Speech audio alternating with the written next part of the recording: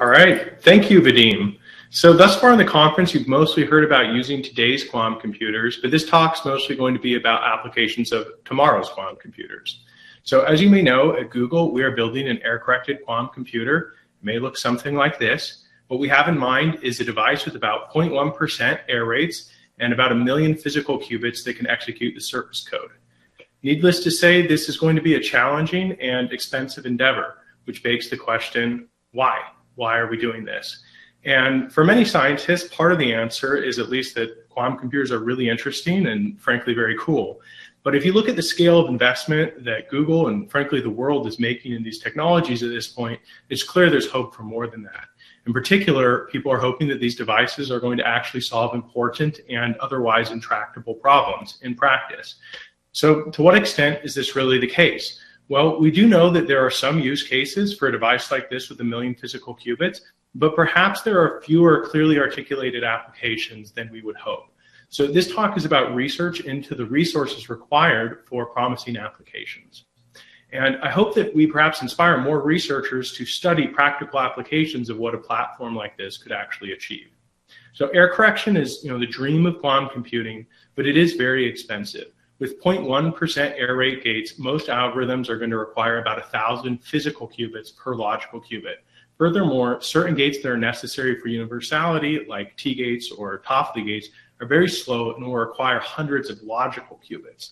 So this translates to a huge constant factor slowdown in the space-time required for quantum computation versus a classical computation.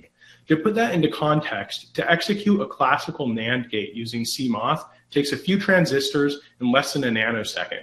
So maybe about 10 to the minus 9 transistor seconds of space-time. Uh, to do sort of the quantum equivalent, which is a Toffoli gate, that's sort of like a quantum NAND gate, uh, in the surface code, our best constructions still require more than 10 qubit seconds. These units are a little bit different, but you know, this is roughly a 10 order of magnitude separation. And I would argue that that big constant factor slowdown is very problematic for certain applications of quantum computing that only realize a more modest speed up. So for example, uses of amplitude amplification to accelerate Monte Carlo applications in finance, or uses of Grover's algorithm to speed up uh, combinatorial optimization, things like this. So I want to say a little bit more about that. Uh, just imagine that we have a classical algorithm with a scaling that goes as some constant c times an abstraction of the problem size we'll call m. M might be the size of the database in a search problem. It might be the number of trajectories in a Monte Carlo simulation, something like that. And then we have a quantum algorithm that's scaling quadratically better, but with a much bigger constant in front of it. Uh, so like what we just talked about. You know, just based on this, I can draw the sort of cartoon that is showing a plot of the space-time volume required versus the problem size for quantum and classical. And you know, just because the quantum algorithm starts out so much slower, uh, the quantum advantage isn't going to occur until very, very, very large problem sizes. You know, with the numbers we've talked about so far, maybe problem sizes on the order of 10 to the 20. Now, for exponential speedups, this constant factor is going to be easily overcome, so it's not really such a problem. Uh, but for quadratic speedups, it's going to be a, an issue. And if you find this cartoon maybe a bit too hand wavy for you, I'd refer you to this uh, paper we published in PRX Quantum last year, which is about uh, com compiling uh, heuristic algorithms for combinatorial optimization to the surface code and actually working out what some of those constant factors are. And then a little bit more recently than that, we put out another PRX quantum paper, which was really a perspective piece, making a more complete version of this argument, uh, essentially against the notion that quadratic speedups would enable quantum advantage on uh, small error corrected devices, uh, at least ones with a million physical qubits and, and possibly never. Uh, so unfortunately, we find that this conclusion likely persists even if we were to speed up the implementation of fault tolerance by orders of magnitude. Uh, though I will say on a positive note, the analysis does become significantly more encouraging for slightly higher order polynomial speedups, like a quartic speedup. So if quadratic speedups aren't promising, what is an application that is seemingly useful and would have a much larger speedup, ideally an exponential speedup? And the answer that I'd like to talk about today is, of course, quantum simulation. So when I talk about quantum simulation, I like to have in mind sort of a spectrum of applications. Where on one side of the spectrum, you have applications where it's uh, frankly rather easy to achieve a quantum advantage, but you know it's perhaps not that useful of an application yet. And on the other side, you have some you know potentially very useful things that are harder to execute. So on the left side, we have things like simulating you know fast scrambling or um, you know ergodic quantum many body states, OTOCs. They may have some applications to you know black hole physics or things like this, and it looks very much like these beyond classical um, experiments we've already executed on NISQ devices. And some members of our own team, uh, Craig Gidney, uh, estimated that to reproduce an experiment like that within fault tolerance with the platform we have in mind would take maybe 25,000 physical qubits, which is great. It's not a lot of qubits, but maybe isn't so useful. A little bit further down on this spectrum, you could think about simulating um, quantum spin models or uh, other sorts of lattice models, which are sort of coarse-grained models of quantum magnetism. They're you know qualitatively interesting, but they also may have some practical applications and technologies. For example, uh, NMR spectra arise from you know just sort of the nuclear spins interacting, uh, which would probably be a fairly simple quantum simulation to carry out, but the dynamics would still be hard classically. People have looked into simulating models like this, and it looks like a couple hundred thousand physical qubits would probably suffice. A little further down on this spectrum is the simulation of molecules and materials. And here I have a pixelated picture of a molecule and a crystal because with maybe a couple hundred thousand to a million physical qubits, you could start to perform these simulations, but you may have limited resolution. In contrast, if you have you know a few million physical qubits, you can probably perform very accurate simulations of molecules and materials even further down, you could think about doing more realistic models of physics, like from quantum field theory, which may have applications in high energy physics. And it's very interesting, and there has been work on this, but no work thus far has really figured out the constant factors required to implement such simulations for specific problems in an error correcting code. And so I have question marks here for the cost. And in this talk, I'm going to focus more on talking about these applications in simulating molecules and materials. So to say a bit more about that, um, you know, molecules are basically just nuclei and electrons which are interacting with each other. They have kinetic energy. They're interacting according to the Coulomb operator. But in quantum chemistry, we often are able to assume that the, the nuclei are essentially classical objects and we can fix their position. We just focus on looking at the electronic wave function, which predicts chemical bonding and features such as that. So once we fix these nuclei, it becomes possible to perform the simulation of the electrons in a very fancy basis of so-called molecular orbitals, which are obtained from mean field solutions to the electron physics. Now, using these fancy basis functions reduces the number of qubits required, but it does increase the algorithmic complexity.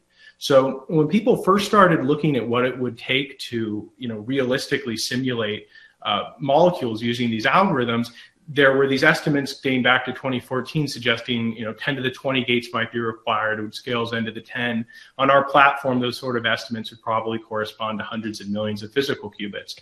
But the community continued to refine these algorithms and in 2017, there was a first paper giving very specific estimates for how many gates would be required to simulate a specific interesting molecule, which I've drawn here. It's uh, the FeMoco molecule, which is important for fertilizer production and nitrogen fixation. Um, and uh, this 2017 work from the Microsoft group, um, it would probably require about 20 million physical qubits on our platform, which is, you know, it's not science fiction, but it's, it's more than we would hope for. Um, so around that time, our own team was thinking about, all right, well, what, what could we do that might be easier to achieve with about a million physical qubits?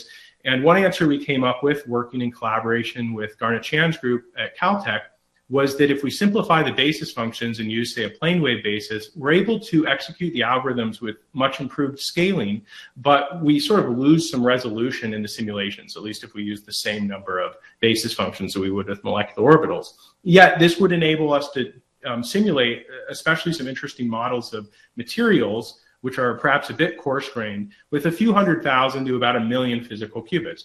So that's interesting, but what I really want to talk about more is some even more recent work that uh, we published in PRX Quantum just a couple weeks ago in collaboration with Joonho Lee and Dominic Berry, where we're able to use tensor factorizations to essentially compress the information needed to specify the Hamiltonian in a way that allows us to bring the scaling down to the same scaling you have with the plane waves, but with the same resolution you have with the molecular orbitals. And as a result of that, we could simulate a molecule like FeMoco using just about 10 to the 10 gates in about 2 million physical qubits, which is now looking quite practical. So to say just a little bit about how this works, the challenge of simulating in the molecular orbital basis is that the Coulomb operator becomes quite complicated. It tends to have n to the four terms.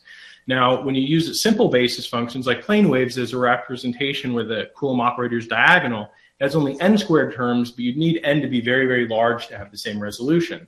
So what we do in this recent work is we are able to compute a new sort of basis, which is only slightly larger than the original basis, but which also diagonalizes the Coulomb operator, although the basis is non-orthogonal. The way that this is accomplished is by performing a tensor factorization on the coefficients of the two-body operator, and then using the tensors from that factorization in order to define a projection into this larger auxiliary basis um, which, like I say, is non-orthogonal, and we then use some clever algorithmic techniques to mitigate some of the um, you know, consequences of it being non-orthogonal. So I should say that we're very excited about this work because now the scaling is very good and it's very accurate. And quite frankly, after having personally worked on this problem for seven or eight years, I think we're getting sort of a near optimal solution for this type of representation. Uh, but I do want to emphasize that this work did not happen in a vacuum. In fact, below I'm highlighting a bunch of different techniques that we sort of used in our own work. We put a lot of these pieces together in order to get the high efficiency algorithms that uh, are described there. And you know, this work comes from many different groups. I've highlighted work from our own team in Blue, so we've been um, you know working on this for a good amount of time. But it's really something that has built on itself um, through a, through a larger community. So as excited as, as I am about uh, those results, I want to emphasize that uh, there's another way of simulating quantum chemistry that I'm even more excited about. And to motivate this, I'll say it would be really nice if we could perform simulations in a plane wave basis, because that would, you know, with high precision, because that would allow us to simulate materials. But you do need hundreds of times more plane waves than molecular orbitals to get high precision. And in second quantization, this is basically a non-starter because the number of qubits required is equal to the number of orbitals. So if you needed 50 or 100,000 plane waves, you need 50 or 100,000 logical qubits, which could translate to billions of physical qubits, and that's just not going to happen. Uh, however, there's a different way that you can encode the system physics, which is using first quantization. And none of the prior works doing error-corrected resource estimates have looked at first quantization up to this point. But in first quantization, the number of qubits required is the number of particles times the log of the number of basis functions.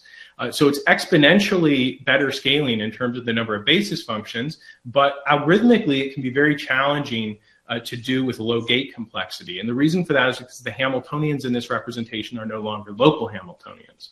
But in 2018, we were able to describe a method which could perform simulation in this representation with a gate complexity that was scaling as n to the one third. Uh, and so that looked very promising, but it then took us about two and a half years and about 100 single spaced paper uh, pages in order to um, figure out the constant factors associated with this algorithm and actually compile it to um, you know a, a error correcting code. And um, basically i'm showing a plot here from that work where what i'm plotting is the number of toffoli gates required for one of our best algorithms is a function of the number of particles in the simulation in a simulation where we're using 300000 plane waves. So 300,000 plane waves is a lot of plane waves, so expect that to be very accurate.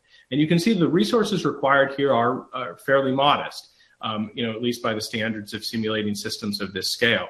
Um, there's a couple different color lines here. Those correspond to the different densities of the particles in the simulation. Most materials you'd be interested in simulating probably have are, are about the green dots there. Um, so needless to say, this sort of enables the accurate simulation of realistic solid state and material Hamiltonians for the first time, which I think really opens up an exciting new application. But what was really surprising was that it turned out that simulations using a few hundred thousand plane waves were often cheaper than simulations using around 100 Gaussian orbitals. And what that means is, you know, that many plane waves is probably more accurate or can be more accurate than 100 Gaussian orbitals. So this means these methods may even be um, competitive with the molecular orbital algorithms for simulating even single molecules. But the part that I'm most excited about is that um, this representation opens up the possibility of performing non uh, uh, Born Oppenheimer quantum dynamics. And so what I mean by that is full simulations with both the nuclei and the electrons evolving in time. So you can't do that with molecular orbitals because the molecular orbitals derive their advantage from being centered on nuclei. However, um, you know, if the nuclei are moving, the molecular orbitals don't make sense. And furthermore, you can't do simulations in second quantization using um, using uh, plane waves because you wouldn't have enough resolution. But you can do that in first quantization. So uh, that's enough about chemistry. I'd be remiss if I didn't quickly mention another few prominent application areas. Uh, you know, everyone is familiar with Shor's algorithm, which certainly has applications, uh, but perhaps not the ones that the world needs right now. Uh, Google has done some work on the topic. Craig Gidney from our team wrote a paper showing that breaking 2000-bit RSA encryption would uh, require um, the tens of millions of physical qubits on our platform. Um, I think another promising area is algorithms for quantum linear algebra, like the HHL algorithm, which give an exponential speedup for solving linear systems of equations. Um, and in principle, that's really exciting, but in practice, there are a number of tricky conditions that have to be met to realize a quantum advantage there. The system of equations has to have a certain condition number, it has to have a certain structure, you have to be able to sample from the solution. Um, and so, you know, one application I think is promising is using those methods for solving differential equations. Um, but you have to be careful because if those methods can be solved by classical Monte Carlo methods, then um, you you have an approach that scales independently of the dimension there, and so you'll probably not do better than a quadratic speedup. So you need to look for areas where you might have a Monte Carlo sign problem or something like that. Um, finally, applications of machine learning are always popular, and with good reason. You know, we do know that quantum circuits can sample from classically inaccessible probability distributions, and machine learning is fundamentally about learning probability distributions. Um, but I think the key question to ask is sort of what properties of data or what kind of data sets really need these quantum correlations for their description so that you could get a quantum advantage. And it's a difficult question that I think is still very much open. Uh, there is some work on the topic. I'd like to highlight a recent paper, for example, from um, uh, Richard Huang, uh, who is an intern with our team that was published recently in Nature Communications. Um, so I'd like to basically wrap things up by just emphasizing the importance of the following question, which is how will a modest error-corrected quantum computer impact the world? Frankly, I think our community has a responsibility to provide a more clear answer to this question. Uh, I, I think that it's also clear that we need to do better than you know these algorithms that are enticing because they're broadly applicable, but they give only a quadratic speedup, like these amplitude amplification, um, you know, Monte Carlo speedups and uses of Grover's algorithms or combinatorial um, optimization heuristics that may only promise a quadratic speedup. Of course, the quantum simulation remains a very promising application area, and you know, one area of quantum simulation that I think has the potential for a lot of impact on technologies is the simulation of molecules and materials, which looks very promising. Um, there's been a lot of work on second quantized algorithms for these approaches that, frankly, I think are at this point getting near optimal. Uh, and we can maybe expect those to require a few hundred thousand to a few million physical qubits. But there's really also this um, relatively unexplored class of approaches in first quantization, which are now looking very practical and really open the door for simulating material systems and also performing chemical dynamics, which I think is really exciting. Uh, finally, I'll say that quantum algorithms for linear systems and machine learning, they, they seem to have very broad appeal. Everyone, you know, can think of problems in machine learning and linear algebra that apply to them. But it does appear that the best hope for a speed up there is to find instances with a very specific structure, which may limit some of the impact of those algorithms. Nonetheless, we'll still keep searching. So with that, I just want to thank you all for your time. I want to thank uh, really the whole Quantum AI team, but especially Yuan Su, Nicholas Rubin, Craig Gidney, Jarrod McClean, William Huggins, Michael Newman, and Sergio Boixo contributed a lot to this research, as well as some key external collaborators, Dominic Berry, Nathan Wiebe, and Joonho Lee. Thank you. you.